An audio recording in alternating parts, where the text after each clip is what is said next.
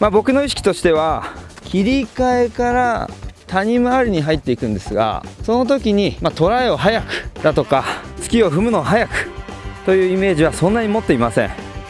谷回りは重力に反したところに立っていますので重心をスキーの両足の上に落とし込むようにして気を使っています。逆に踏んでしまうと体が外れてしまいますね、うん、ですのでそのようなミスがないように切り替えてから谷回り腰を高いところに持ってきてここはスキーに体を預けていく。そんな使い方をしています。逆に山回りはすごく圧感を強めていきたいので山回りに関しては内側に動いて角付けを深くして圧を溜めていくという意識で滑っています。